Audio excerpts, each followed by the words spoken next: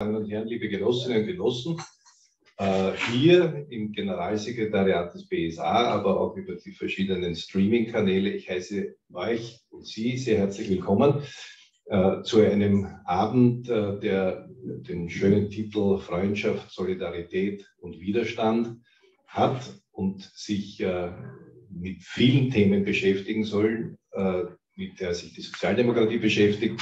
Unmittelbarer Anlass ist ein Buch, äh, von dem ihr sicher schon gehört und wahrscheinlich auch gekauft und gelesen habt. Wenn nicht, gibt es nachher hier die Möglichkeit, dieses zu tun und auch ähm, äh, äh, Widmungen zu bekommen, nehme ich einmal an. Äh, ich freue mich sehr, dass äh, Herr Bürgermeister Dr. Michael Häupl hier heute bei uns ist, aus Anlass auch der Präsentation dieses Buches mit dem noch schöneren Titel Freundschaft. Ähm, ich freue mich auch, dass der Mitautor dieses Buches ähm, Herbert Lackner hier ist. Ich stelle die Damen und die Herren gleich vor näher, sofern das überhaupt nötig ist. Und ich freue mich auch, dass Tanja Wessle hier ist, die äh, als Geschäftsführerin der Volkshilfe Wien, aber vor allem auch dieses Buch hier, glaube ich, auch näher vorstellen oder auch über es sprechen will oder jedenfalls über den Inhalt sprechen will, aus Widerstand und Solidarität, Vorgeschichte und Gründung der Volkshilfe. Äh, wir werden, äh, wenn, die, wenn das so auch passt, 90 äh, Minuten miteinander hier sein. Ziemlich genau die Hälfte würde ich gerne im Gespräch hier auf dem Podium benutzen und dann auch das Publikum einladen, mit uns zu diskutieren. Äh, das geht leider nur hier live. Die äh, Möglichkeiten über die Streaming ist äh, momentan nicht gegeben. Wir sind aber auch über Facebook, kann man sich das alles noch einmal anschauen und so weiter. Bitte auch das Publikum hier im Saal mit Ausnahme des Podiums Maske zu tragen. Sicher ist sicher. Und das würde ich Sie eben ersuchen. Ähm, Michael Häupl vorzustellen heißt Eulen ins Rathaus zu tragen. Und ich weiß nicht, wie man das, welches Bild man verwenden soll. Äh, er ist äh, Präsident äh, des Wiener Wissenschafts- und Technologiefonds, einer sehr, sehr wichtigen Einrichtung zur Unterstützung der Forschung und der Wissenschaft in der Stadt. Er ist Präsident der Volkshilfe, einer ebenso wichtigen Einrichtung und auch des Dokumentationsarchivs des österreichischen Widerstands, für das das Gleiche gilt. Äh, er war von 94 bis 2018 äh, äh, Bürgermeister von Wien, das wissen Sie alle, wisst ihr alle, aber damit auch der längst dienende demokratisch gewählte Bürgermeister, den diese Stadt jemals hatte. Ähm, er hat hier eben gemeinsam mit Herbert Lackner seine Biografie vorgelegt. Herbert Lackner ist Journalist, Autor, hat begonnen, glaube ich, auch in der SPÖ, in der Parteizentrale, war dann von 1980 äh, bis 88, wenn ich das richtig gelesen habe, in der AZ und dann sehr lange, nämlich von 92 bis 2015 Chefredakteur beim Profil. Ähm, und äh, hat als Autor äh, sehr wichtige und gute, viele gute Bücher vorgelegt, aber vor allem auch zum äh, zur österreichischen äh, Vergangenheits, äh, also zur Aufarbeitung der Vergangenheit der NS-Geschichte, insbesondere was die Intellektuellen anbelangt, also die Flucht der Dichter und Denker. Da gibt es eine Trilogie dazu, die äußerst lesenswert auch ist. Ähm, er ist äh, ausgezeichneter Journalist, also im wahrsten Sinne des Wortes mit dem Kurt Vorhofer Preis, äh, war Journalist des Jahres äh, und einige andere Bruno Kreisky Preis äh, und einige andere Auszeichnungen. Tanja Wessely wiederum äh, ist äh, seit 2019 Geschäftsführerin der Volkshilfe, ähm, hat sich davor vielfältig in der Sozial- und Jugendarbeit engagiert in verschiedensten Funktionen, ist auch Lektorin am FH Campus in Wien und war von 2007 bis 2018 Gemeinderätin und Landtagsabgeordnete in Wien. Also Sie sehen, wir haben ein bisschen eine kommunalpolitische gemeinsame Vergangenheit, zumindest wir drei hier. Äh, ich begrüße euch sehr herzlich, bedanke mich für die Zeit, die ihr euch nehmt. Ähm, der BSA hier im Generalsekretariat, das ja gerade sozusagen auch umgebaut wird und das Haus wird umgebaut und die U-Bahn wird gebaut. Also wir sind ein bisschen in der Mitte einer Baustelle. Äh, der BSA ist ein, eine Plattform, ich muss das eigentlich nicht vorstellen, aber ich sage es immer wieder gerne für die eigenen Mitglieder, eine Plattform für einen intellektuellen Diskurs, ein Diskussionsforum äh, mit etwa 8000 Mitgliedern in ganz Österreich, acht Landesorganisationen, in Wien sind es die Fachgruppen und ähm, zahlreichen Bezirksorganisationen. Und wir sind vor allem auch als Netzwerk äh, organisiert, äh, wo wir auch versuchen, ähm, jungen Menschen äh, zu helfen über ein Mentoring-Programm, über die Außenpolitische Akademie, die im Übrigen hervorragend ist und gerade auch wieder zusammenkommt, was in Zeiten wie diesen besonders wichtig ist, als sozialdemokratische Außenpolitik zu diskutieren, zu definieren und zu formulieren. Ähm, und äh, versteht sich, der BSA versteht sich aber auch natürlich als Interessensvertretung äh, für äh, die verschiedenen, die hier vertreten werden, auch zum Beispiel Künstlerinnen und Künstler. So, jetzt habe ich alle vorgestellt. Ähm, ich ähm, bin heute nur eingesprungen ähm, für den eigentlichen Veranstalter, nämlich den BSA Döbling äh, und den Matthias Wawra, der das äh, äh, organisiert hat. Und die Barbara Hauenschild, die eigentlich hier heute sitzen sollte, aber beide sind krankheitshalber ausgefallen. Ich freue mich umso mehr, dass ich das machen kann und wollte, würde mir vorstellen, dass ähm, ich versuche, da ein, Hölzel zu werfen und Fragen zu stellen an die hier Anwesenden.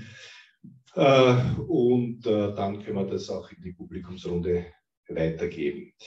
Äh, ich beginne sozusagen, oder versuche zu beginnen, anekdotenhaft beim, beim Kleinen und würde mich dann natürlich freuen, wenn wir sozusagen in die größeren Ebenen der Politik, äh, und da gibt es für wahr sehr vieles zu, zu besprechen. Ähm, jetzt äh, würde ich gerne im Publikum fragen, ob jemand von Ihnen weiß, und das, diese Frage stelle ich auch als Rektor der Musik- und Kunstuniversität der Stadt Wien, wenn man weiß, was eine Ocarina ist. Italienisches Toninstrument. Ein italienisches Toninstrument, weil beim, beim Lesen dieses Buches, und ich, jetzt kennen uns schon ein paar Jahre, und ich glaube, einiges von dir und über dich zu wissen, aber das war mir nun in der Tat vollständig neu, dass Michael Häupl auch Instrumente zumindest angegriffen hat. ähm, äh, angeblich steht drinnen auch ein bisschen gespielt hat. Äh, und darunter die Ocarina, die ein italienisches äh, Blasinstrument ist. Ähm, und ähm, das andere, was ich auch nicht wusste, vielleicht habe ich es wieder vergessen gehabt, dass der Hans Orsolitsch eine, gewisses, eine gewisse Rolle gespielt hat in deinem frühen Wiener Leben. Ähm, und dann ein schöner Ausdruck, der wahrscheinlich auch für dein weiteres Politikverständnis in einer gewissen Weise hilfreich war, nämlich die Synökologie. Magst du uns darüber, über all diese drei Dinge kurz was, was erzählen, was die miteinander zu tun haben? Also, ich will nicht übertreiben. Äh, meine, meine, meine Musikkarriere, wenn ich das so sagen kann, hat sich eigentlich beschränkt äh, und geendet ungefähr mit meinem elften Lebensjahr. Äh, denn äh, ich habe das meinem Großvater zu verdanken gehabt, äh, der halt versucht hat, äh, seinen beiden Enkelbuben, meinem Bruder und mir, verschiedene Musikinstrumente nahezubringen. Ein reichlich hoffnungsloses Unterfangen, schon bei meinem Bruder und bei mir nicht sehr viel anders. Äh, aber ich habe noch mitgenommen, immerhin, also was er sieht, Klavier gespielt, Geigen gespielt, äh, an den Blasinstrumenten gut, bei der Ocarina, die ist ungefähr so zwölf Zentimeter lang, dieses Toninstrument. Also da hat ein Blasinstrument zu sprechen, ist wahrscheinlich ein bisschen schwierig, aber es ist richtig, ja, man muss ähnlich wie bei einer Flöte hineinblasen, dann kommt, wenn man das halbwegs gut bedienen kann, auch ein vernünftiger Ton heraus. Also, äh, das sind die Dinge, die, die ich dort gelernt habe von meinem Großvater, neben vielen anderen Dingen. Der ein Groß, selber ein Lehrer, pensionierter Lehrer, aber der ein großartiger Pädagoge war, weil er etwas gemacht hat, was nicht nach Lernen, mhm. wie wir es äh, halt immer so erlebt haben, äh, gemützt war, sondern das war eigentlich, wir haben miteinander gespielt. Es war alles spielerisch. Äh, und da konnte ich natürlich sehr viel lernen. Ich meine, ich, war, ich bin ja kein Wunderkind gewesen, aber ich habe halt, bevor ich in die Volksschule angefangen habe, Lesen, Schreiben und Rechnen können. Alles, weil wir es gespielt haben. Nicht, weil ich so ein toller Bursch war, sondern wir haben halt die Zeit, die wir verbraucht haben das war relativ viel, weil, wie gesagt, er war in Pension, meine Eltern waren berufstätig. Also so gesehen war das äh, die Ursache meiner heftigen, aber sehr kurzen äh, musikalischen Karriere. Es war dann, äh, als ich dann äh, natürlich äh, ins Konvikt gekommen bin, weil mein Vater sich halt einfach sehr katholisch mit mir, äh, letztendlich auch, was du nicht zuletzt aus dem Buch weißt, was sonst was. Äh, natürlich ein Schwarzer, war so schwarz, dass er in einen Tunnel einen Schatten geholfen hat. Also, ja, schon ja, da hat er mit einem katholisches Konvikt gesteckt, auch nicht so schlecht für einen werdenden Sozialdemokraten ein bisschen äh, Jesuitisches äh, zu lernen, da man sich gerade schon was. Aber dort war natürlich äh, die Förderung der, der, der Musikkünste, ähm, auch der bildenden Künste nicht so. Und ich habe natürlich auch lieber Fußball gespielt, muss ich ganz ehrlich sagen. Das hat mich wesentlich mehr interessiert und das ist auch dort relativ intensiv äh, gefördert worden.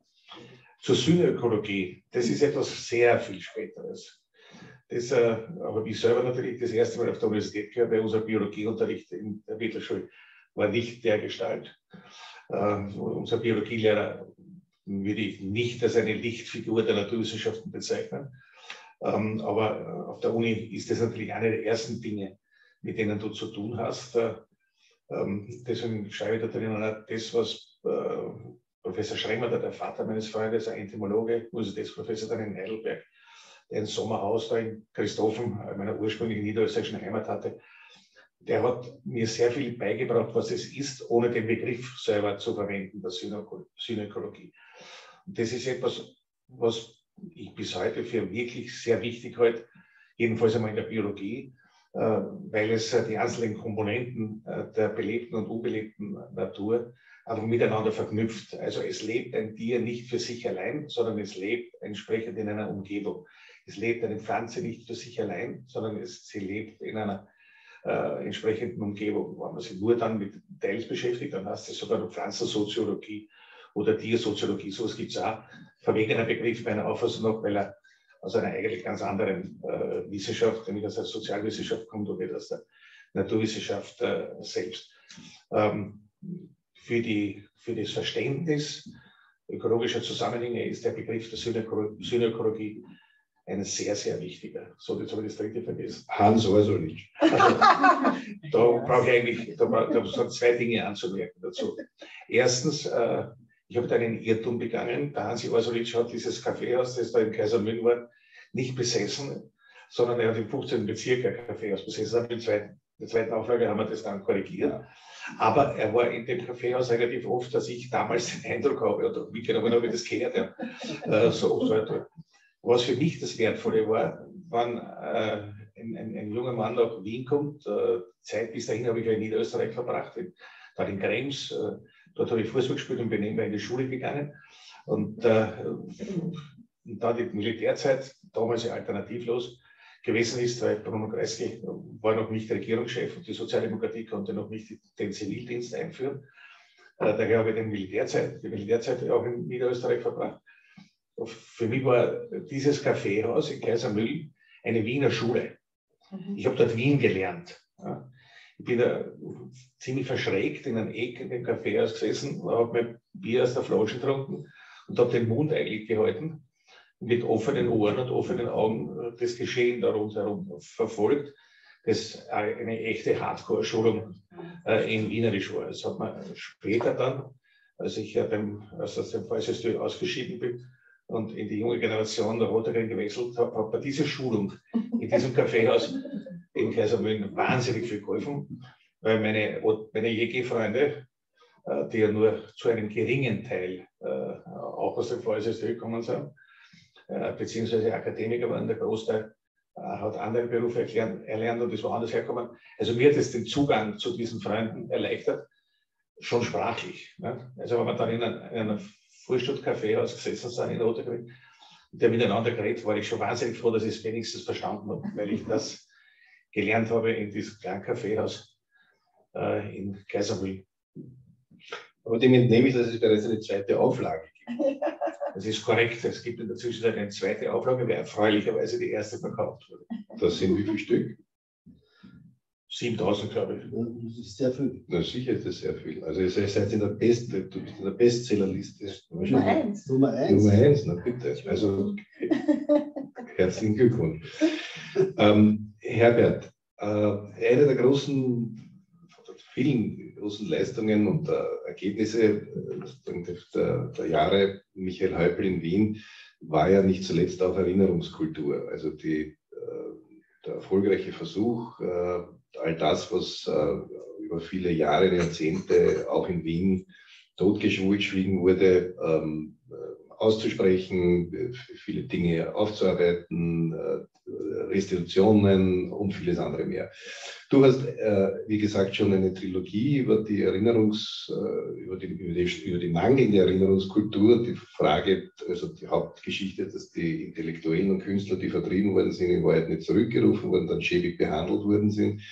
Hast du den Eindruck, auch im Lichte dessen, was in Wien passiert ist, aber was im Bund passiert ist, äh, insbesondere dann nach Waldheim und in den 90er, Null, Nullerjahren, ähm, dass äh, vieles richtig gemacht wurde, aber heute noch, auch noch immer viel zu tun ist.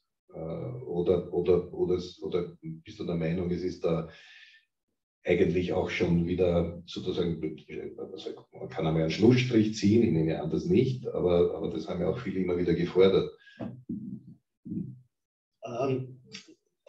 der dritte Teil dieser Trilogie, von der du gesprochen hast, Anne, beschäftigt sich mit der Rückkehr der Geflüchteten. Also der erste Teil ist, die Geschichte ist so.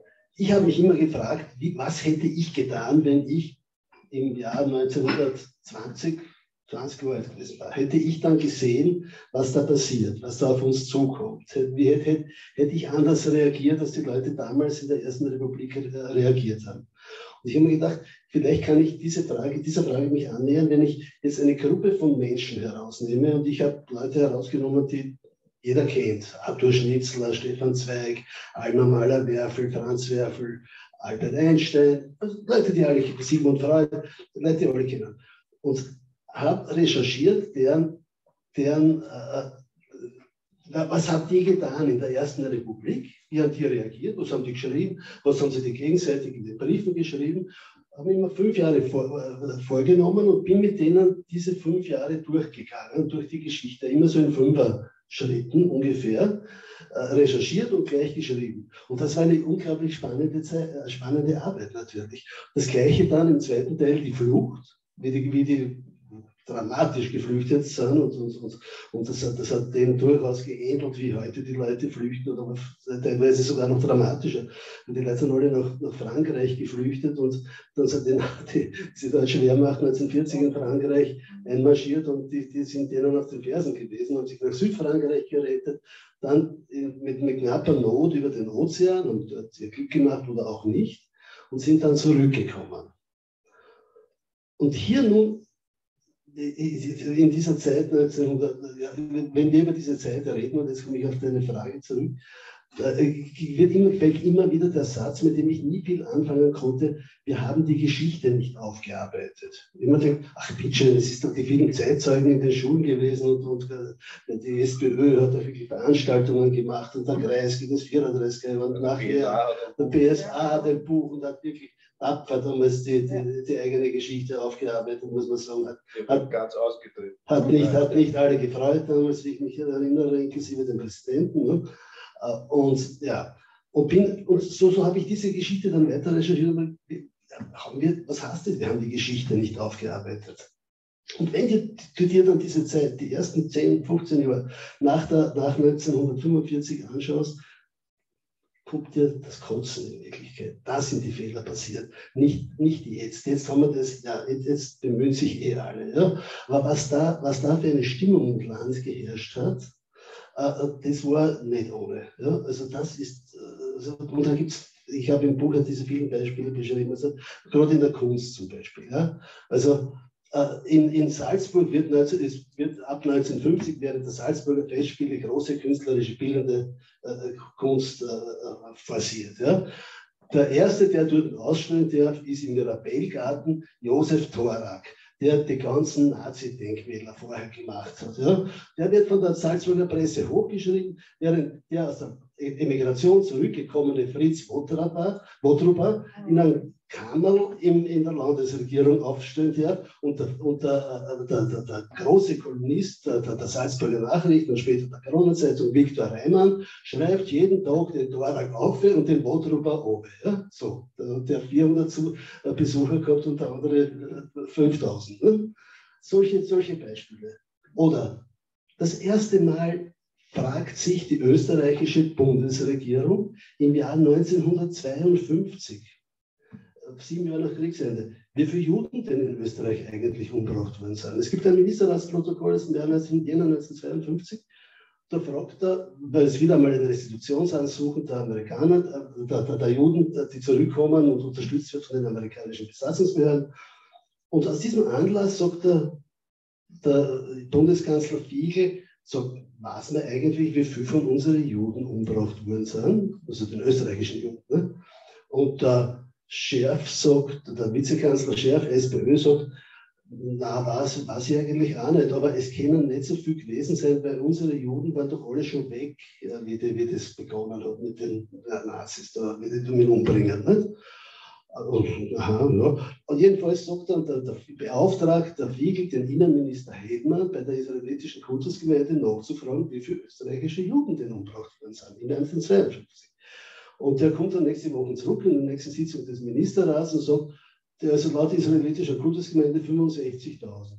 Und du merkst aus dem Protokoll, ich war dabei, aber aus dem Protokoll des, dieses, dieses, dieser Ministerratssitzung merkst du so, dass die, die Minister und Minister, Minister oder Minister gibt, sagt dann, ah, da schau her, ja, so mehr oder weniger. Ja, und dann irgendwie so in der Tagesordnung weitergegangen sind. Okay, die Tagesordnung war schon wichtig, die haben wirklich große Probleme gehabt, da war wirklich viel zu, viel, zu, viel zu tun. Aber dass man sich bis 1952 äh, äh, äh, nicht einmal überlegt hat, wie viele Leute, äh, wie unserer Nachbarn da umgebracht worden sind, das hat mich eigentlich schon entsetzt und schockiert. Ja. Und da gibt es viele, viele, viele Beispiele. Und das ist auch der Grund, warum nur ganz wenige aus der Emigration wirklich zurückgekommen sind, wie zum Beispiel Karl Farkas, Hermann Leopoldi, eingeladen von, der einzige, der sich gekümmert hat, der Viktor Mateka, der genau. Stadtrat Mateka, ein Vorgänger von dir, äh, äh, äh, der hat die, die zurückgebracht und kein, beide, der Adler Leopoldi nicht, der in, in KZ sogar gesessen ist, der zeitweise, beide haben nie ein Wort verloren über ihr, ihr Schicksal und was sie erlebt haben. Hat sich keiner traut, was zu sagen, weil sie Angst gehabt haben, dass das Publikum dann gegen sie sich wendet. Ja? Kein einziger. Wir haben nichts gehabt. Alle anderen sind nicht zurückgekommen. Der Bolgar ist in, in der Schweiz geblieben, Thomas Mann ist in der Schweiz geblieben, viele sind in der Exil gestorben. Äh, und das war natürlich ein, ein, ein, ein schwerer Aderlass und dass man, dass man sich nicht einmal, dass sie nicht einmal die Opfer darüber haben reden getraut. Ja? Das ist das, was, na, wir haben, na, so konnten wir unsere Geschichte nicht aufarbeiten. Bei heute im Radio ein, äh, Psycho der jüdische Psychoanalytiker Mendelssohn, der einen bitteren Witz erzählt hat. Der äh, Rothschild wird nach dem Krieg gefragt, na, wie haben Sie die Nazis behandelt? Sagt er da, wie einen Millionär. und, und, das ist böse, weil es sozusagen natürlich auch ausdrückt, äh, dass die neben vielen anderen natürlich auch auf, vor allem auch auf die Vermögenswerte gegangen sind. Unser heutiger äh, Abend ist, äh, also ich hoffe, dass man dann am Ende sieht, dass das sozusagen auch ein Gesamtbild äh, sein sollte. Ähm, natürlich geht es auch um die äh, sozialen ähm, Unterschiede, sozialen Verwerfungen. Es äh, scheint wohl so zu sein, dass die sozialen Unterschiede äh, jedenfalls in den letzten Jahren, also die, die Unterschiede in Vermögen, in Einkommen, wieder sehr viel größer werden.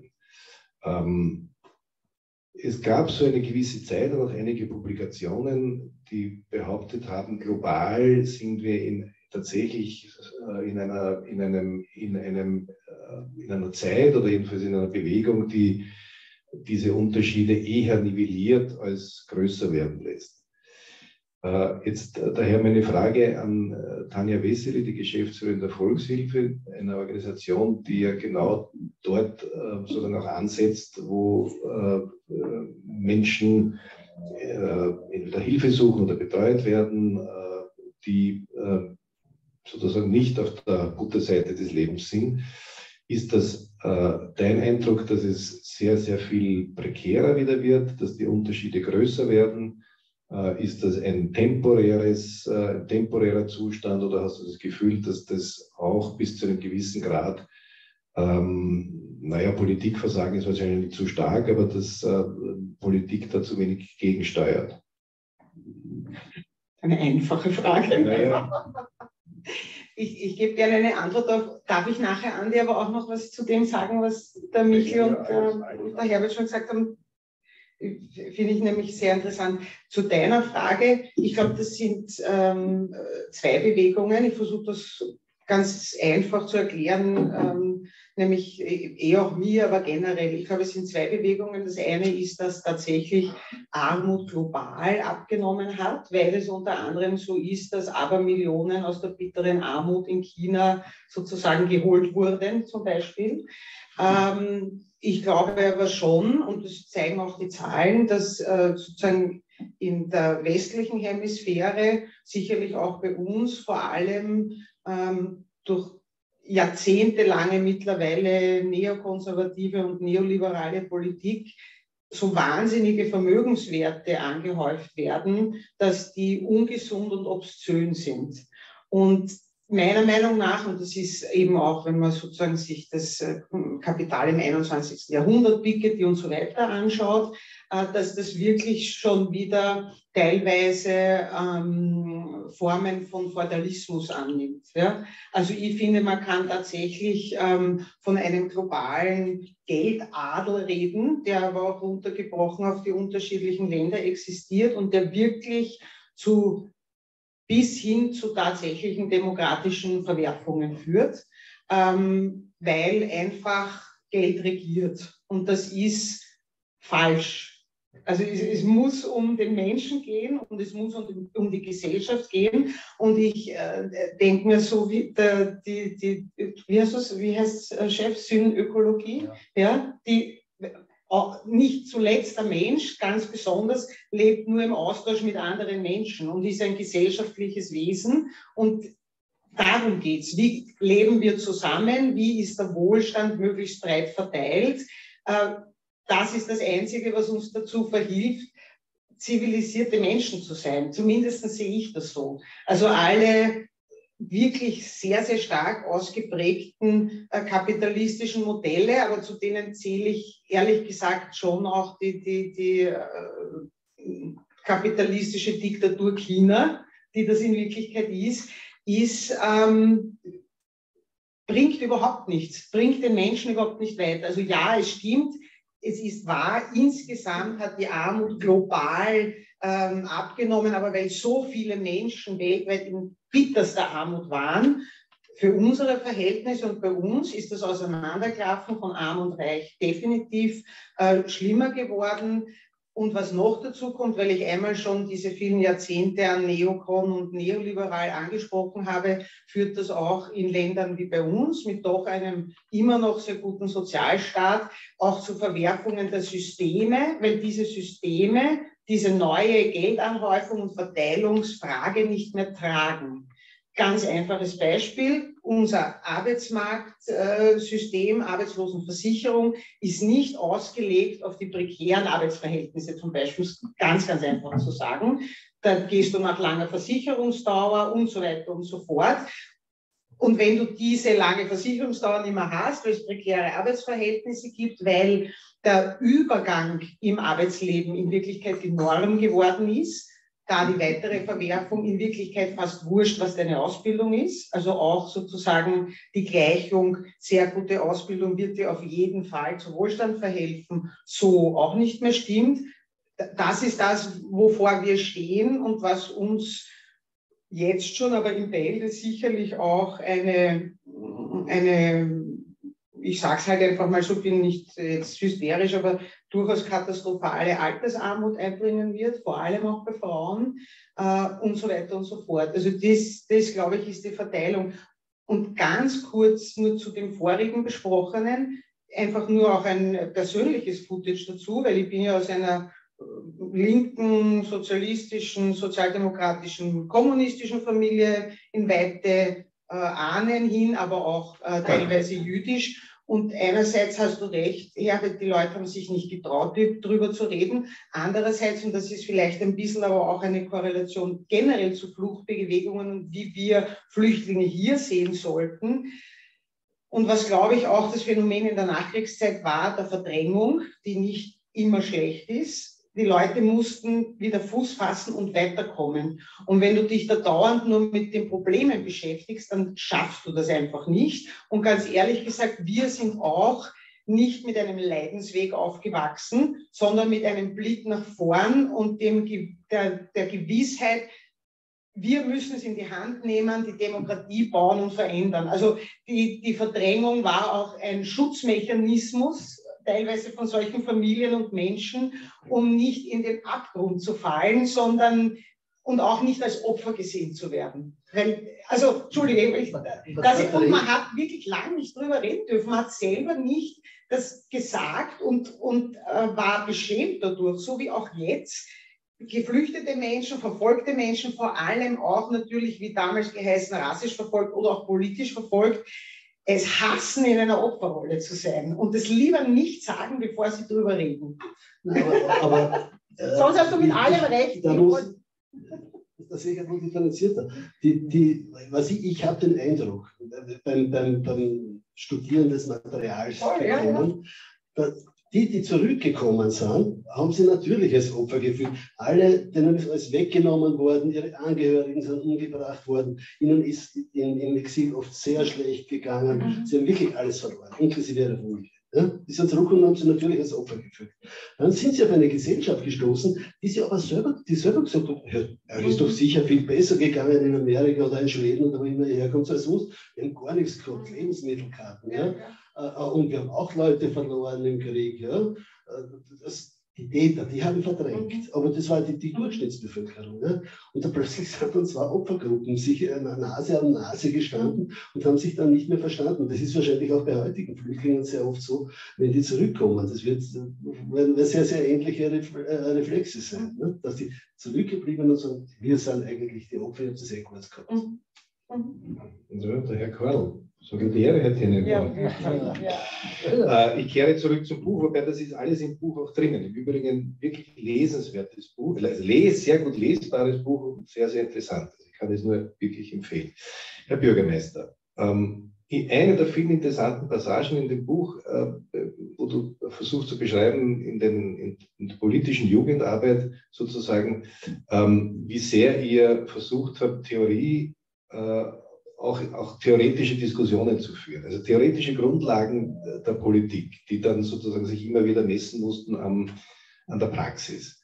Äh, und ich glaube, ich habe das damals genannt, sozusagen den, den, den gewerkschaftlichen Ansatz, also den, den pragmatischen versus halt einige andere, die sehr in der Theorie waren.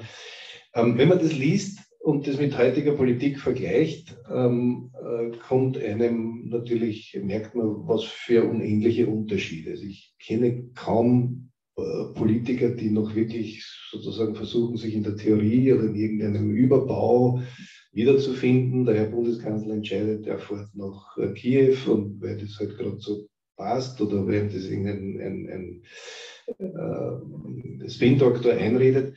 Und solche Beispiele gibt es viele andere mehr. Ähm, äh, also wenn du das Revue passieren lässt und wenn du das versuchst mit der heutigen Politik zu vergleichen, ähm, was macht das auch für, für Politik insgesamt? Oder würdest du sagen, naja, das war damals lustig und nett, dass wir es gemacht haben und ich bin mit dem Schach gestritten oder was auch immer, äh, aber eigentlich äh, dann in meiner in weiterer Folge habe ich hauptsächlich praktisch Politik gemacht. Fehlt das? Also zunächst einmal äh, zu, der, äh, zu dem, was du als Theoriearbeit hast, war beim VSSTÖ, äh, war das ganz unbestreitbar, so dass neben dem, was wir an praktisch-politischer äh, äh, Arbeit im Vorfeld äh, der, der, Universitäten gemacht haben, ähm, war das eine unbedingte Voraussetzung. Wir haben den Kreisky ernst genommen, wir haben in vielerlei Hinsicht ernst genommen, weil wir ich, wie oft gestritten haben dem. Aber zum Beispiel die Durchflutung aller Lebensbereiche mit Demokratie, das haben wir, haben wir aufgesogen, dieser Satz. Und ich habe zum Beispiel im Studentenheim das auch gleich umgesetzt. Weil ich war dann in einem Studentenheim, das noch zu der Hochschülerschaft gehört hat, in einer katholischen Organisation. Aber dort durfte, wenn meine Mutter zum Beispiel nach Wien kommen ist, um mit mir essen zu gehen. Also ich war Student im, was weiß ich, dritten, vierten Semester, Militärzeit hinter mir gehabt, äh, Matura, alles. Wenn sie in das Studentenheim kommen ist, durfte sie mich nicht vom Zimmer abholen, weil sie beim Portier warten müssen, weil sie halt nicht in das Studentenheim hinein durfte. Sowas ist heute unvorstellbar und war damals natürlich auch die Basis für eine, sagen wir mal, leicht revolutionäre äh, Geschichte. Nicht? Wir haben natürlich äh, innerhalb kurzer Zeit Wahlen durchgesetzt, also Heimvertretung, eine fünfköpfige äh, gewählt worden. Der Heimleiter ist zum Hausmeister degradiert worden, der hat die Glühbirnen austauschen dürfen. Äh, der Portier ist entlassen worden. Äh, also, und Mädchen sind natürlich eingezogen, Kolleginnen sind natürlich auch mit Heim eingezogen, ohne dass deswegen jetzt Sodom und Gomorra ausgebrochen werde, wäre. So, das war völlig okay und normal. Das war ja durch die Bank äh, erwachsene Leute. Also äh, das äh, war tatsächlich so mit, mit Heimvollversammlungen, wo dann auch Beschlüsse gefasst worden sind, was da in dem Heim passiert soll. Also war wirklich fast schon sowas wie ein bisschen eine Räterepublik, ganz winzig klein in einem Studentenheim mit 144 Kolleginnen und Kollegen, die dort gewohnt haben. Oder er hat natürlich auch andere, äh, andere Sachen zum Beispiel gesagt, was man sehr ernst genommen hat wer politisch arbeitet und äh, ist ausschließlich sozusagen dem Tagesgeschäft verpflicht, äh, verpflichtet und nicht, arbeitet nicht auf der Basis einer Theorie, einer Ideologie. Ja? Ideologie ist eigentlich nicht verwendet, der Begriff hat ein etwas distanziertes Verhältnis gehabt dazu. Aber auf der Basis einer Theorie und einer theoretischen Arbeit, der handwerklich nur. Das haben mich auch sehr ernst genommen und daher haben wir uns natürlich sehr viel mit Theorie beschäftigt. War es jetzt die wesentlichste Botschaft von dem Ganzen ist, es hat unseren Geist geschult.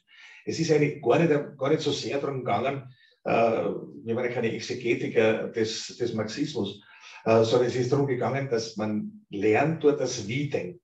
Zum Beispiel eine Diskussion darüber, wenn ich eine Schachtel Schrauben von einem Eck einer Fabrik in eine andere trage, ist das produktive oder unproduktive Arbeit sagt nämlich jeder, ich meine, Schwachsinn, ja, sich mit sowas zu beschäftigen.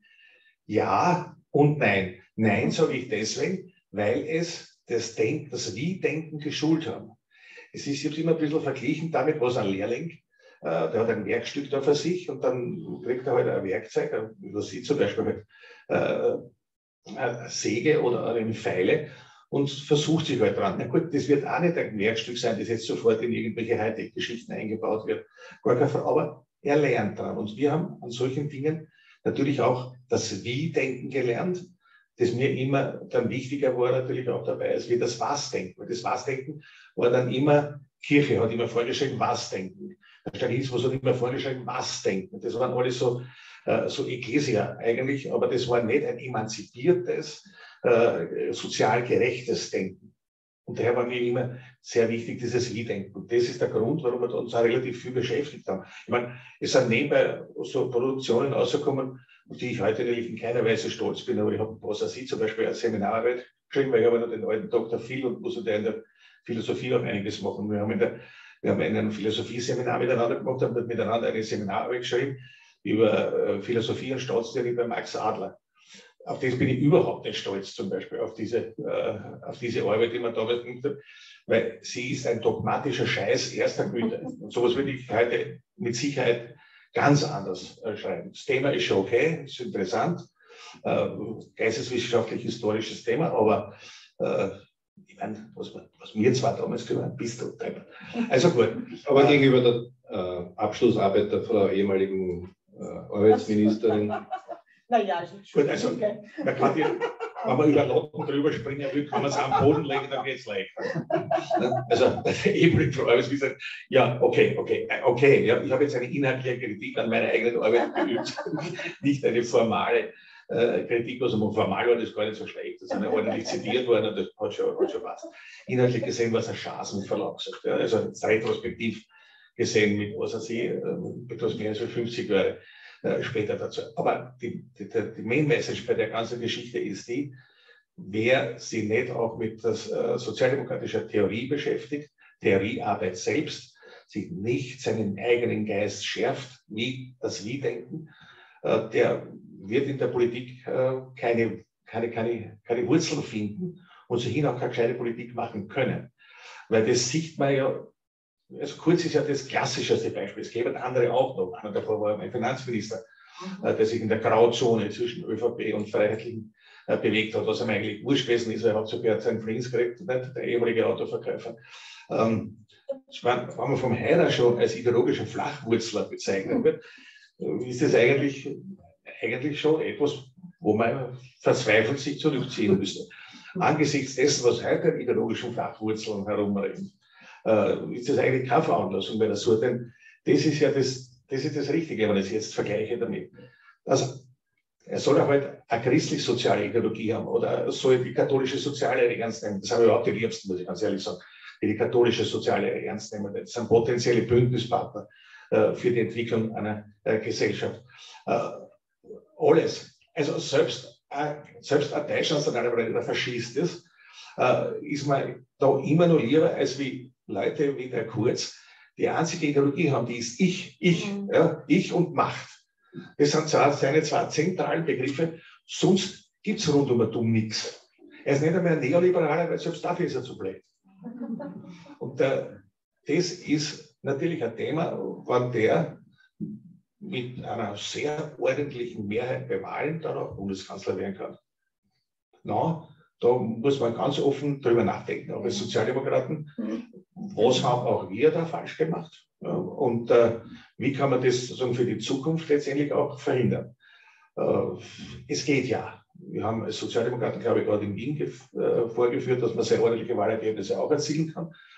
Warum ist das der Fall? Das diskutiere ich gerade mit meinen Grazer Freunden, sozialdemokratischen Freunden so sehr, weil in Wien haben die Kommunisten rund ein Prozent und in Graz stellen sie die Bürgermeisterin. Und warum ist das so? Nicht? Weil man sich Themen wegnehmen lässt, weil man sich mit sich selbst beschäftigt, weil man egomanisch unterwegs ist, nicht? weil sich das Thema Wohnen zum Beispiel wegnehmen lässt. Der ist der als Sozialdemokrat jetzt, der ist einfach, einfach verloren, muss man ganz offen sagen, weil ein Kern, Kernthema der sozialen Frage und das lässt man sich wegnehmen. Also absurd, absurd völlig absurd. Ne? Und äh, der sind das aus meiner Sicht heraus gesehen die wirklich wichtigen Dinge. Muss sich mit Theorie beschäftigen, dann kann man auch vernünftige Strategie als solches auch entwickeln. Ein Wort noch, äh, die, die gewerkschaftliche Orientierung als Strategieansatz, den wir damals gewählt haben, erwähnt wurde. Äh, das klingt jetzt so proletarisch, ist natürlich ein vollkommener Unsinn. Die gewerkschaftliche Orientierung war der Strategieansatz äh, aus dem Stamokap, also aus, aus, der Theorie des staatsmonopolistischen äh, Kapitalismus. Äh, die haben wir, diese Theorie haben wir am Anfang aufgesogen, vor allem vor dem Hintergrund auch der Diskussionen mit unseren Userfreunden. Aber wir haben sie eigentlich ziemlich kollektiv, relativ rasch verworfen, weil die Staatstheorie ist so schwachsinnig äh, und so so aus der Zeit, schon, schon in, jetzt in den, in den 70er Jahren aus der Zeit gefallen oder 80er Jahren, äh, dass wir die relativ bald ersetzt haben und haben uns dann zugewandt, Staatstheorien wie zum Beispiel Joachim Hirsch oder ähnliche Staatstheoretiker. Und dann haben wir relativ rasch auch verstanden, äh, dass auch die ökonomische Theorie, die dem Stamokap zugrunde liegt, äh, natürlich ein Unfug ist.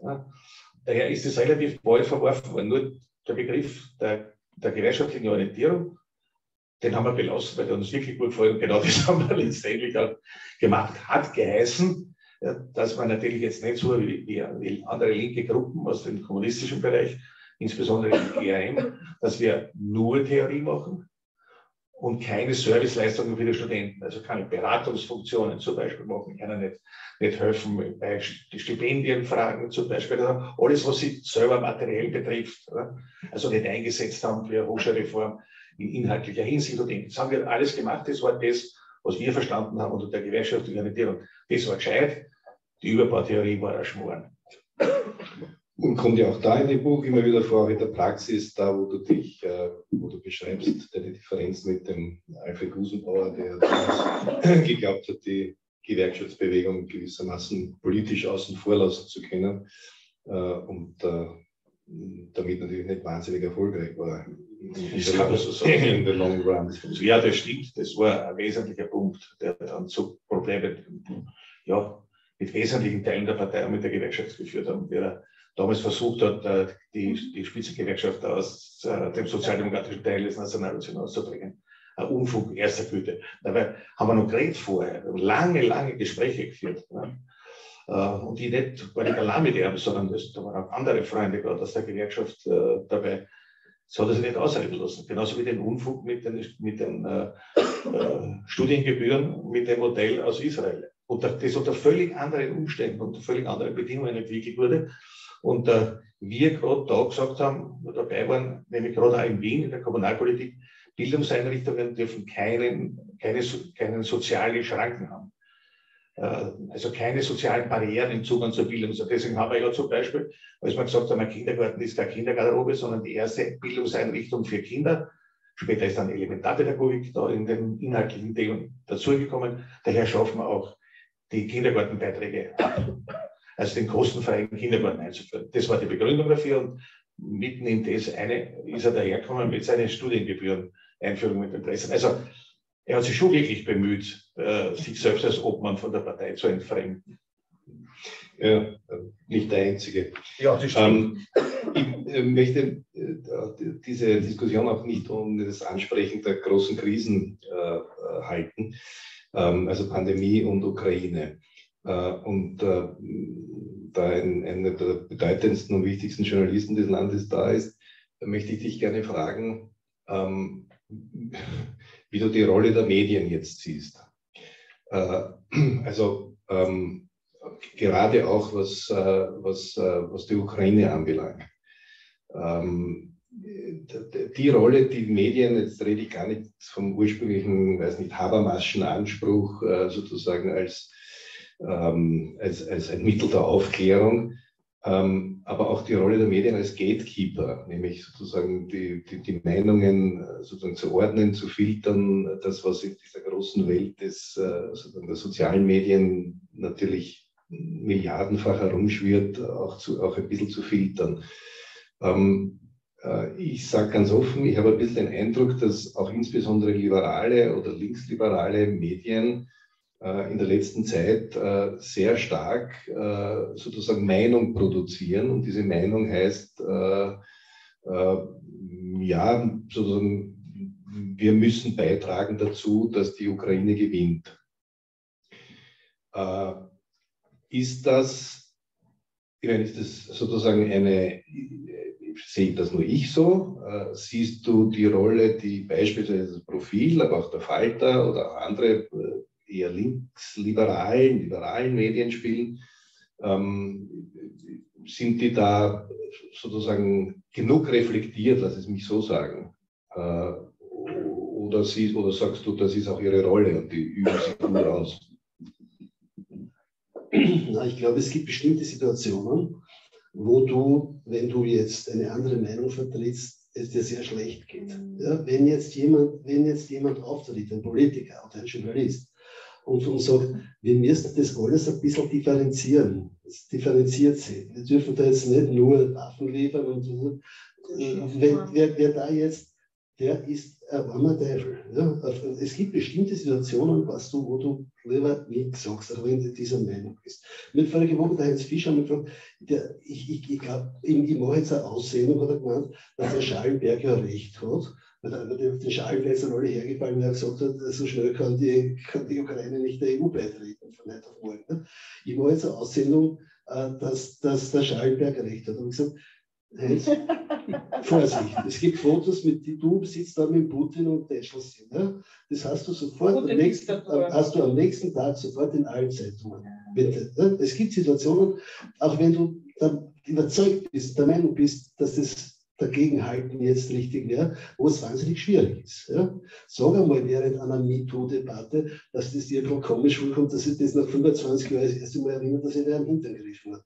Könnte man auch sagen. Ja? Äh, und, und dann 47 Millionen Dollar Schadenersatz dafür haben will. Also, ja, Thema für einen ganz neuen Arzt. Es gibt bestimmte Sachen. Jetzt sage ich aber was, was ich, was, was, was glaube ich, über dem Ganzen drüber liegt. Die Rolle der klassischen Medien, die Bedeutung der klassischen Medien nimmt dramatisch ab. Ja? Äh, die Corona-Zeitung, die, die, die, die, Leserzahl, der Anteil der, Corona-Zeitungsleser hat sich innerhalb der letzten 15 Jahre halbiert. Mhm. Und galoppiert weiterhin nach unten. Der von anderen Zeitungen übrigens netto. Ja? Langsamer, weil sie nicht so viel zu verlieren haben, aber, aber, aber trotzdem. Ja? Es, ist, es hat sich die gesamte Kommunikation ins Internet verlagert. Ich lese Zeitungen auch nicht mehr mit Papier, obwohl ich mein ganzes Leben Papierzeitungen geschrieben habe. Aber entschuldige, warum bleibt das Profil jetzt die dritte oder vierte Woche drauf, sozusagen Sieg muss denken, wir müssen siegen. Das ist eigentlich die Aussage des Profils.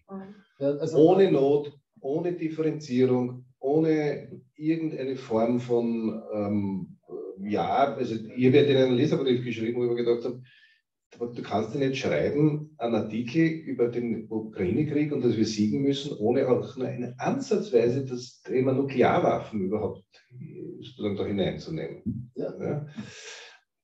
Also da ist jetzt schon sehr, oder der, der Falter macht auf mit einem Cover äh, mit, einem, mit einem jungen Pärchen aus der Ukraine, das heiratet mit zwei geschulterten Kalaschnikows.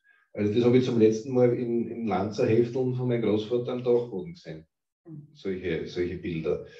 Äh, also da ist schon sehr stark, jetzt bei allem, ja, man muss immer gleich sagen, furchtbar, das ist ein putinischer Angriffskrieg und wir verurteilen den und so weiter, also das ist ja das Zentrum Censio, aber gleichzeitig fallen, das ist mein Eindruck, ganz viele äh, sozusagen, äh, also äh, Dämme ja, werden gebrochen, was eine differenziertere Berichterstattung hat. Schlafwandler. Schlafwandler, genau. Ich, ich, weiß nicht genau, ob äh, man das Bild jetzt so wirklich vergleichen kann, aber ähm, ich habe jetzt ein bisschen in Erinnerung so äh, Widerstandsbewegung, Resistance in Frankreich, äh, Widerstandsbewegung dann auch in anderen europäischen Ländern der Richtung gegen die Nazi. Ähm, ich fürchte sehr, dass man da mit einer differenzierten Argumentation bei den italienischen äh, Widerstandskämpfern oder bei der Resistance oder selbst bei unseren, bevor sie verhaftet worden sind und im Ladel da drüben umgebracht worden sind, mit einer differenzierten Argumentation wahrscheinlich schwer durchgekommen, durchgekommen wäre. Das Bild, das du jetzt da äh, gezeichnet hast mit den, mit den Bergen, mit den Kalaschnikows, ist natürlich nicht zu akzeptieren. Das ist mit Sicherheit keine Frage aus meiner Sicht heraus gesehen. Aber auf der anderen Seite, ähm, die Diskussion, die äh, losgebrochen ist, äh, damit liefert man der ukrainischen Armee schwere Waffen, dass sie sich gegen diesen Angriffskrieg verteidigen können oder nicht. Da habe ich eine ziemlich äh, eindeutige Position, ohne deswegen jetzt ein, ein, ein Kriegsverherrlicher oder sonst was zu sein. Äh, denn äh, es hätte keine Widerstandsbewegung äh, in der historischen Vergangenheit ohne Unterstützung von außen jemals den Aggressor auch nur hindern können. Und was die französische Resistance geliefert hat, zum Beispiel im Vorfeld äh, der Anlandung äh, der alliierten Truppen in der Normandie, das äh, war eine, eine, eine unglaubliche Leistung. Eine unglaubliche, hätten sie niemals schaffen können, waren nicht englische und amerikanische Waffen äh, nach Frankreich gebracht worden wären.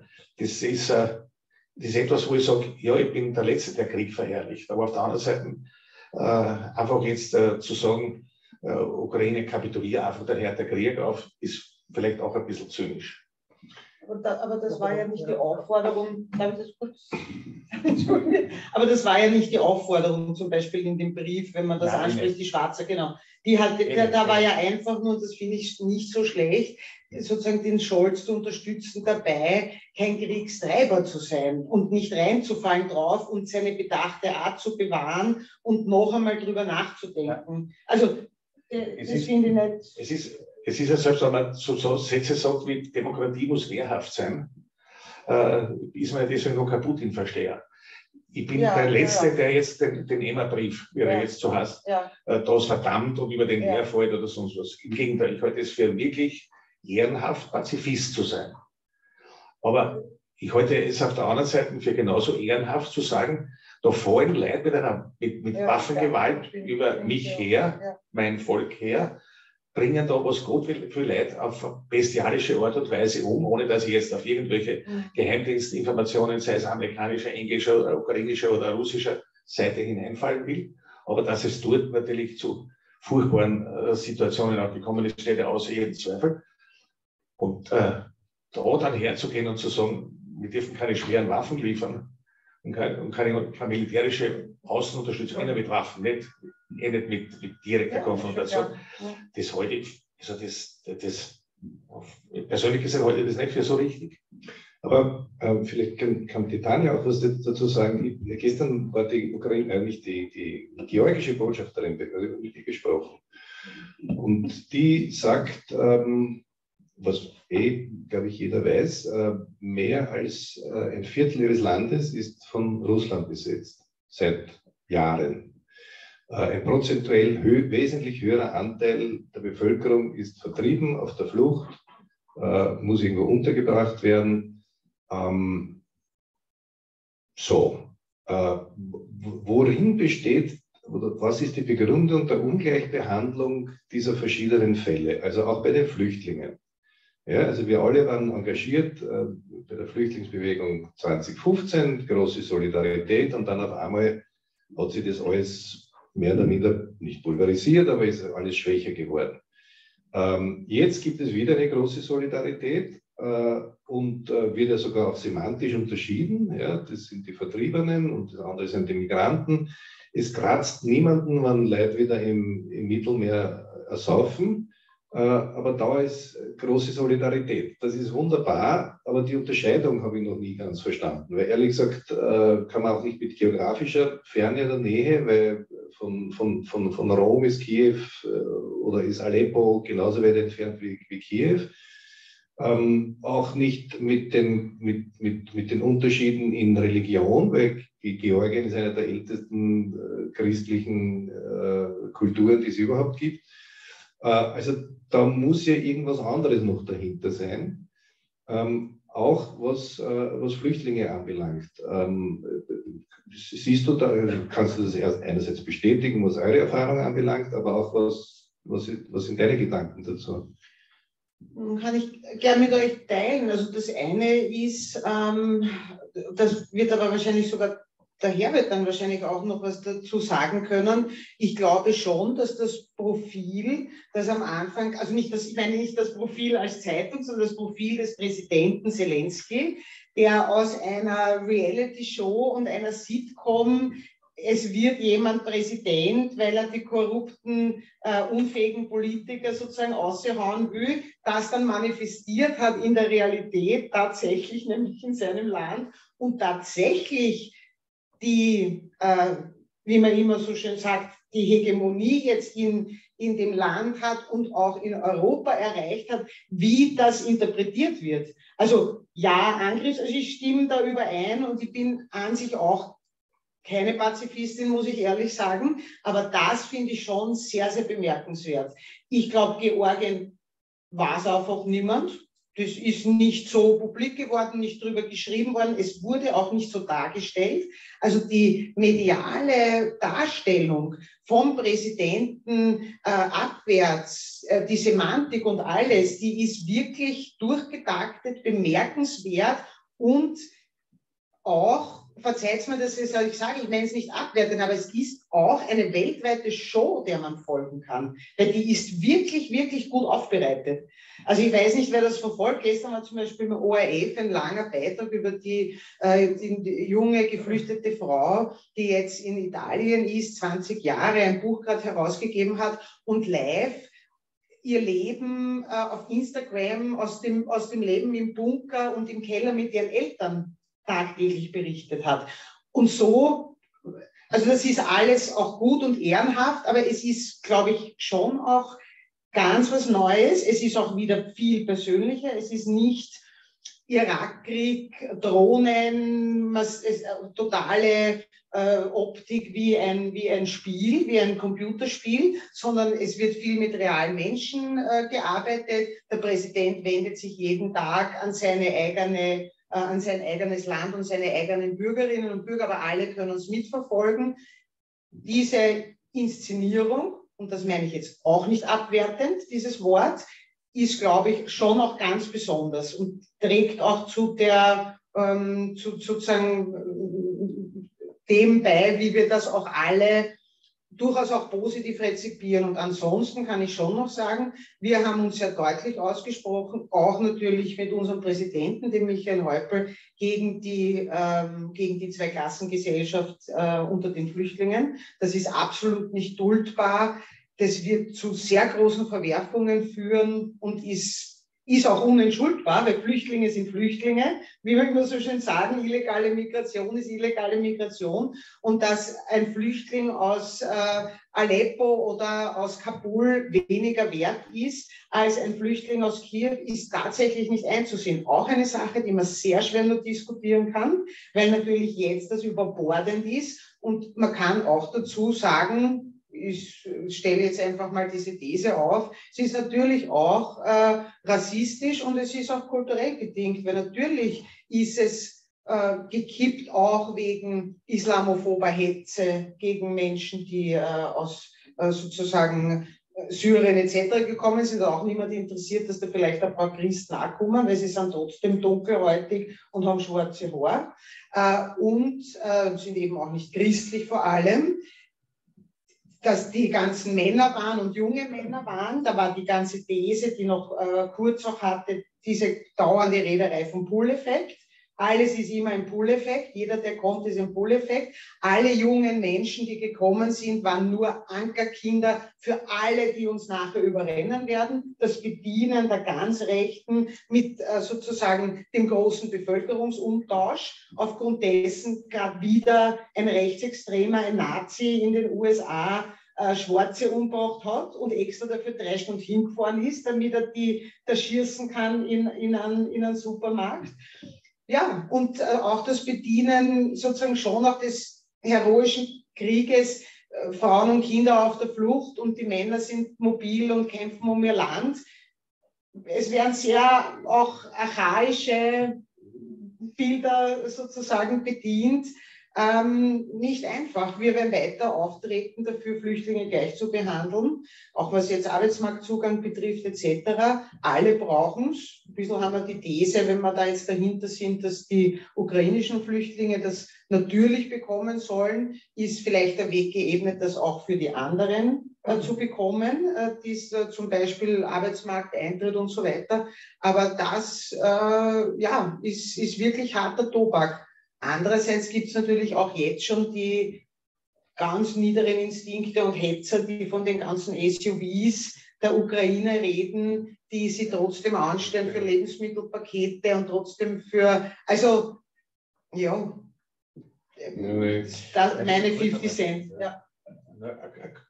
Völlig d'accord. Also ohne Widerspruch. Es hat eine innenpolitische Anmerkung sozusagen. Die Unterscheidung zwischen Vertriebenen und Flüchtlingen ist eine Erfindung äh, des äh, äh, vorherigen und des jetzigen ÖVP-Innenministers, um damit äh, vor, der eigenen, vor den eigenen Wählerschichten, vor den eigenen Parteifreunden rechtfertigen zu können, äh, dass man die Guten haben, äh, die nämlich aus der Ukraine kommen, wo die Männer verschweigen, dass eine ganze Menge Frauen auch als Soldatinnen äh, dort im Krieg stehen. Äh, während das andere sind alle böse, äh, die da aus den arabischen Ländern zum Beispiel aus Afrika zu uns kommen, äh, die uns eigentlich nur ganz Schlimmes äh, und insbesondere auch unseren Frauen ganz Schlimmes wollen. Das ist ein, eine, eine, ein Narrativ, das wir nicht zulassen dürfen und nicht zulassen können. Und diese Diskussion ist öffentlich auch zu gewinnen. Äh, denn es gibt natürlich nur legale und illegale Flüchtlinge. Illegale Flüchtlinge finde ich auch nicht in Ordnung, denn ich möchte wissen, wer zu uns kommt, dass man dann weiß, wem man hilft. Äh, legale Flüchtlinge, die zu uns kommen, äh, haben natürlich das Anrecht auch darauf, dass man sich mit ihrer Lebenssituation auseinandersetzt. Und wenn sie hierher kommen, weil sie zu Hause an Leib und Leben bedroht werden oder ihre Kinder oder wer immer, dann ist ihnen zu helfen.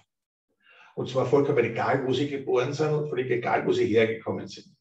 Daher gibt es nur Flüchtlinge, legal oder illegal, aber es gibt nicht Flüchtlinge aus, gute Flüchtlinge aus der Ukraine und böse Flüchtlinge aus Afrika äh, oder den Nahen Osten. Und das ist ein Punkt, mit dem wir jetzt diskutieren müssen. Und äh, ich bin da gerade dabei, das äh, zumindest einmal mit, den, mit anderen NGOs zu diskutieren, bei unseren Freunden, wie den Kinderfreunden oder den Samariterbund oder den Pensionistenverband oder so, ist es unschwer. äh, dazu schwieriger wird es schon äh, bei anderen Hilfsorganisationen vom Hilfswerk, wird der ÖVP über einen reden, weil die haben keine Order, die sind noch gewohnt äh, an die Message Control von früher, die, die gibt es jetzt nicht mehr, mehr, weil man weder ein Message hat noch Control. äh, aber äh, zum Beispiel die Diskussion, ich sage das da auch ganz offen, bei aller tiefen Freundschaft und, und Verbundenheit und Kooperation mit der Caritas, äh, sie sind zwar unserer Meinung, aber sagen tun sie es nicht. Und äh, das ist ein Punkt, da müssen wir noch arbeiten dran. Mhm. Weil das, da waren wir sehr stark, alle, die dieser Auffassung sind, sehr stark auch in der Öffentlichkeit auftreten. Eine, die eine starke Stimme, zum Beispiel für diese These, die haben wir ja leider verloren vor recht allzu langer Zeit. Aber das hilft nichts, müssen wir umso lauter reden.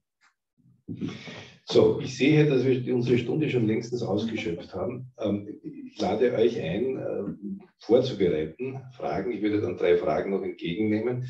Äh, aber um die ganze Themenpalette noch, noch einmal aufzumachen, äh, politisch auch würde ich den Herbert gerne um seine Meinung fragen zum Stichwort Neutralität jetzt.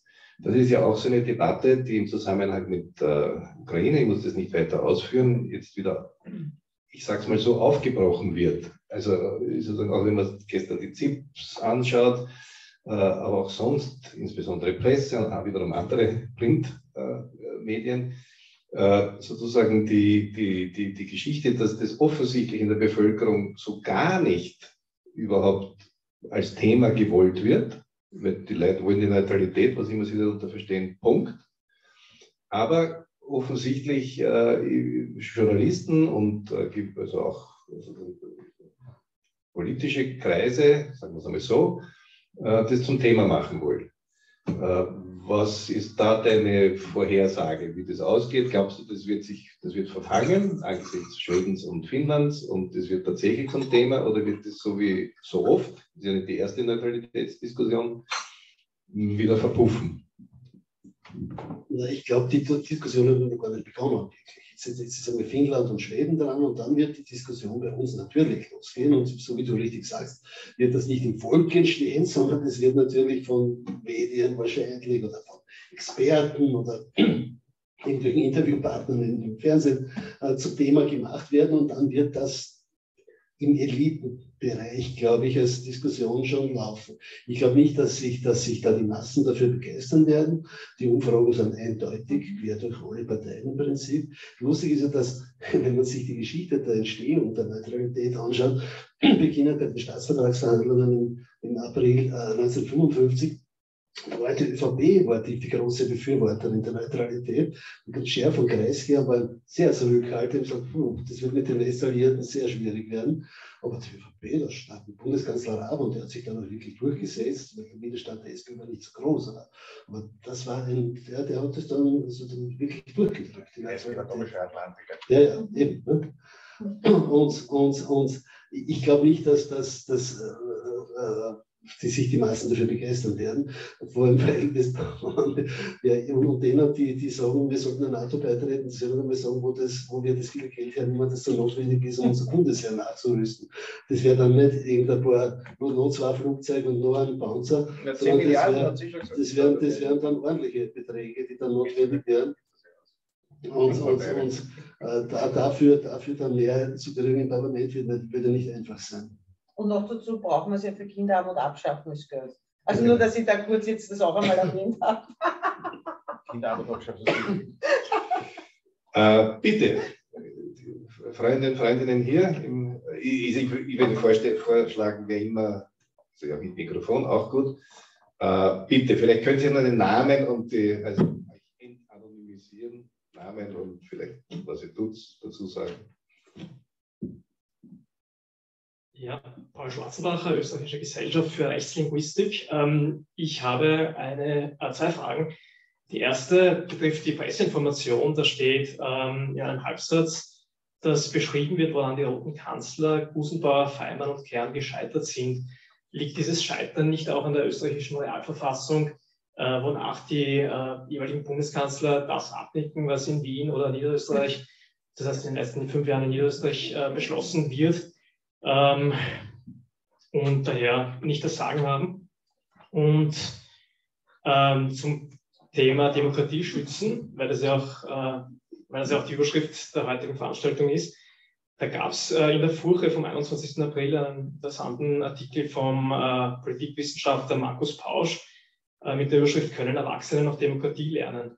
Was äh, halten Sie davon, wenn äh, man, so wie er vorschlägt, ähm, einführt, dass auch Abgeordnete, also neue und altgediente und Polizistinnen etwa Demokratie- und Menschenrechtsworkshops durchlaufen müssen?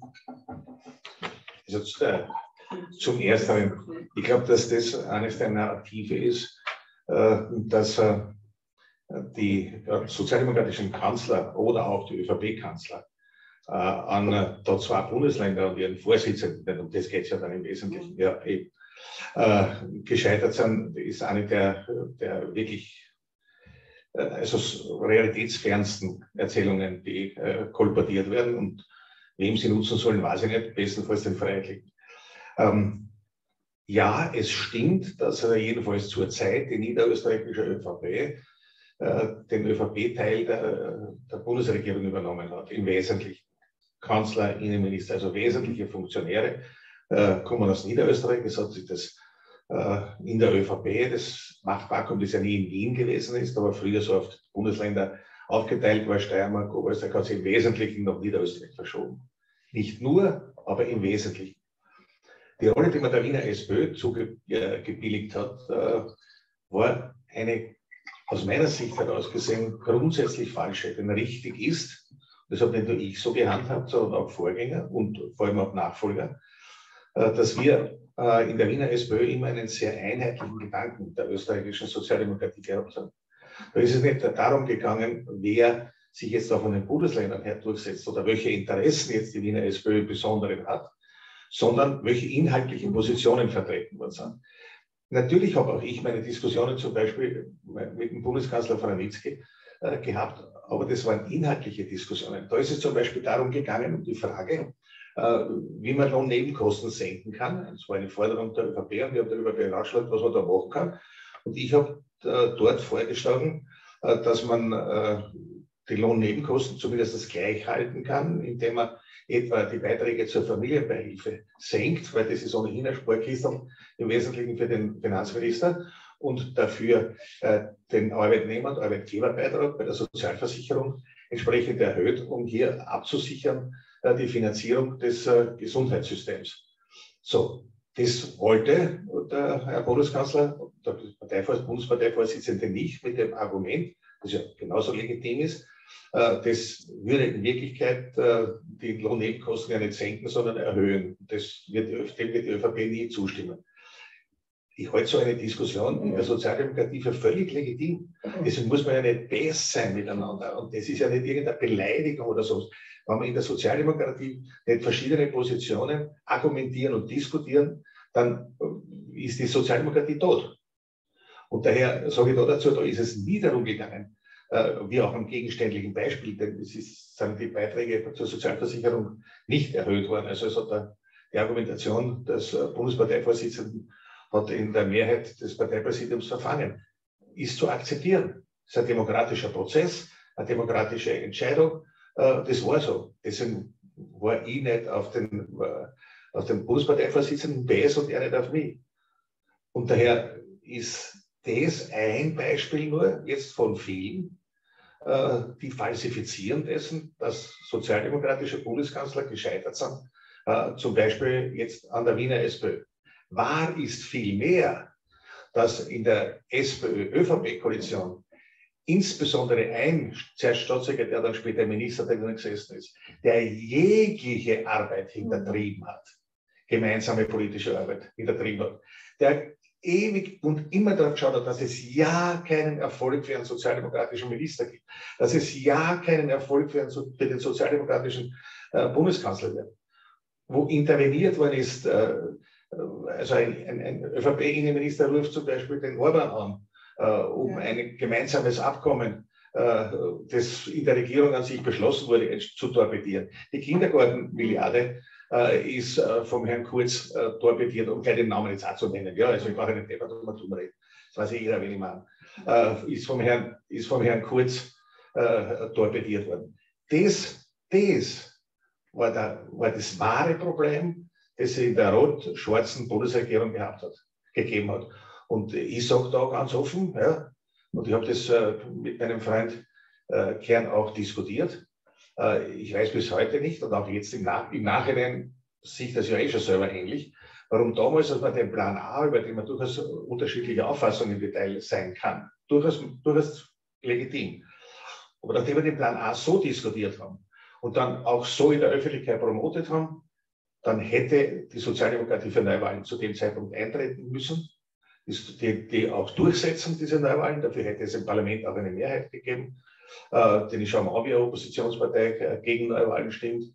Und äh, da hätte man sich unter Umständen einiges erspart, unter anderem das Experiment kurz. Nur, es war es war zu diesem Zeitpunkt, zu diesem Zeitpunkt im Jänner 2017 mhm. war die Gewerkschaft dagegen, dass neu gewählt wird und der Kern sich das ohne den ÖGB nicht Oder, oder im ÖGB nicht machen Genau.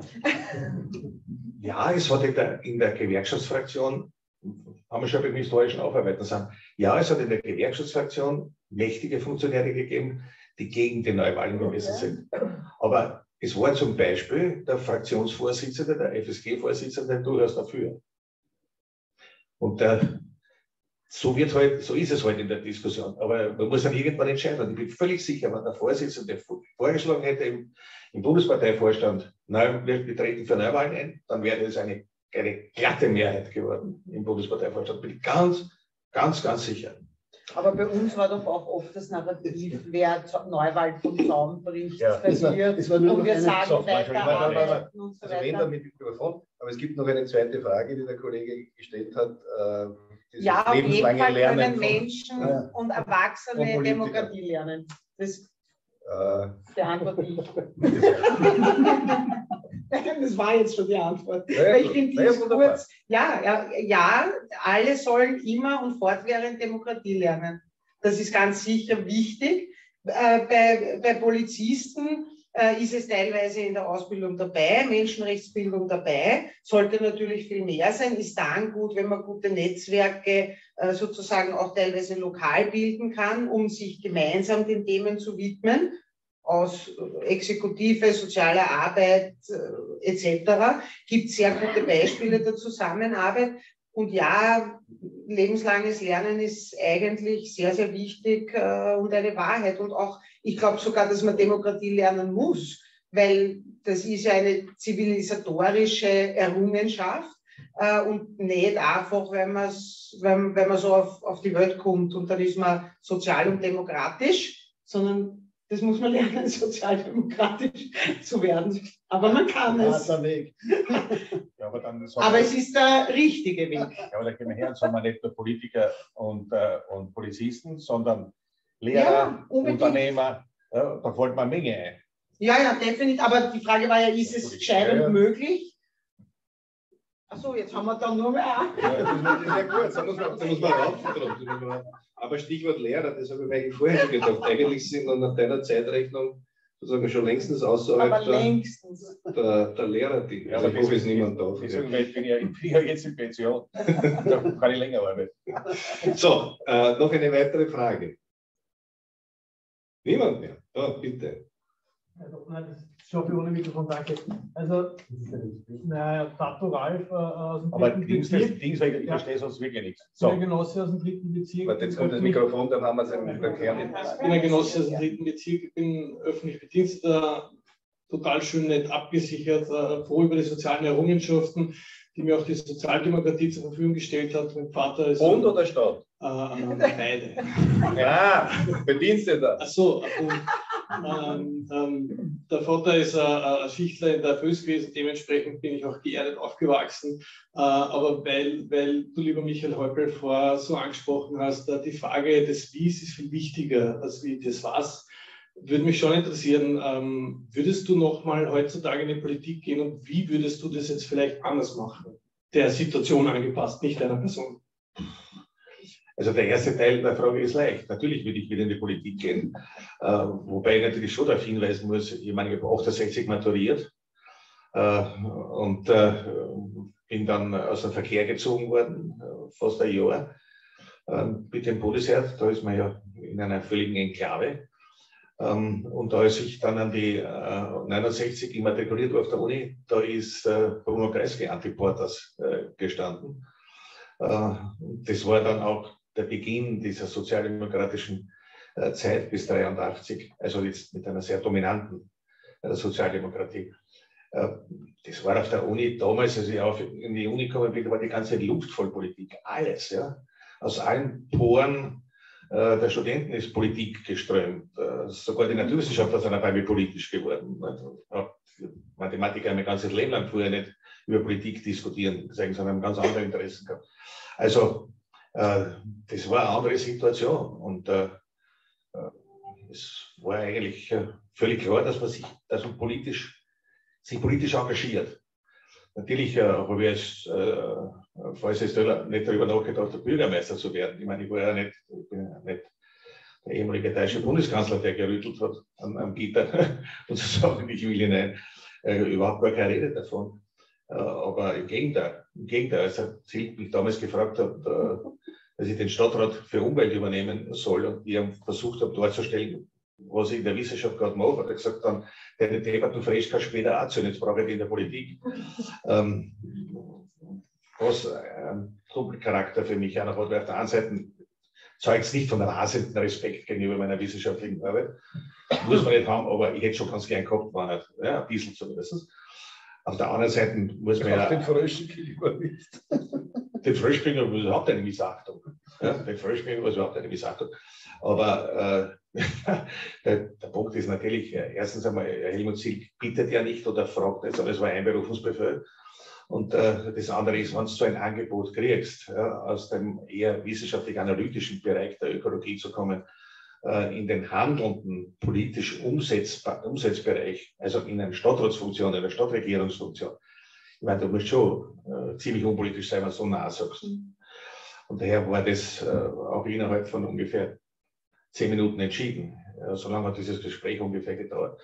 Mir war schon bewusst, dass das natürlich ein für mich sehr entscheidender und wesentlicher Schritt war, mhm. heraus aus der Wissenschaft hinein in die Politik. Ein Stadtregierungsmitglied ist schon ist schon nicht irgendwas. Ja? Also das war, war mir schon klar und ich muss sagen, rückblickend gesehen, äh, das war ja vor, was weiß ich jetzt, bald 34 Jahren, ich habe diesen Schritt nie bereut. Ich habe diesen Schritt wirklich, wirklich nie bereut. Äh, was man natürlich jetzt leicht sagen kann, wenn man einen gewissen politischen Erfolg im Laufe seines Lebens gehabt hat, aber selbst wenn ich von dem abstrahiere, ich habe es nicht bereut. Es war eine gute Entscheidung. Und du Danke. würdest nichts anders machen. Nein, aber nichts anderes machen. Aber ja, das war ja, also, der zweite Teil. Das war die Frage, wie würdest du es heute machen? Ja, Ach so, das, das habe ich bewusst jetzt verdrängt, die Frage. Ja, Entschuldige, weil, ich wollte es ja, nicht neu aufmachen. Ich habe jetzt bewusst verdrängt. Entschuldigung. Ja, jetzt bewusst verdrängt, weil mit der Frage kann ich persönlich gesehen nicht sehr viel anfangen. Ja. Äh, man handelt politisch auf der Basis jetzt einer bestimmten grundsätzlichen Vorstellung, also einer Theorie. Ich verwende den Begriff Ideologie, aber im zweiten Band der MEW, äh, Marx, die deutsche Ideologie, darin steht, Ideologie ist falsches Bewusstsein. Ähm, ich glaube, auch Marx kann sich irren. Mhm. Äh, ja, also ich, ich, spreche weiterhin von der Ideologie, also das ist die eine Grundlage. Und die andere Grundlage ist die Faktenanalyse. Was spielt sich tatsächlich auf der Basis von diesen zwei Elementen? Äh, habe ich immer auch versucht, entsprechend Politik zu machen.